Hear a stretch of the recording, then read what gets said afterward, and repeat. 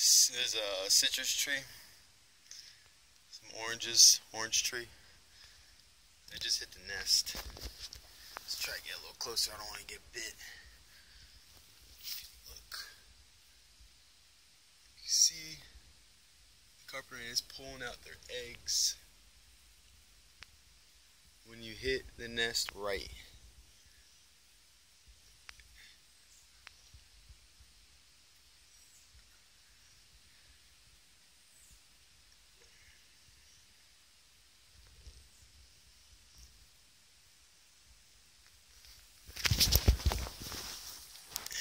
Hit it right, they'll climb all the way up to the tree, the top of the tree, and try to evade and save their nest.